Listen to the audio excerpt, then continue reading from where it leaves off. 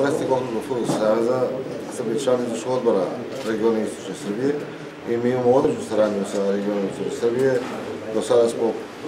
niz akcije imali koje pomagaju našim klubima ovdje u gradu,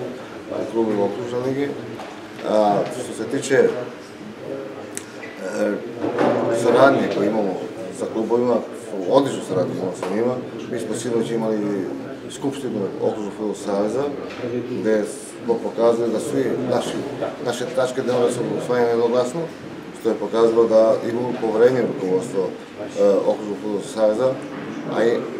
како што се бало пред да чуете и мене задоволство да и за региони и за Србија имаме велико поверење у нас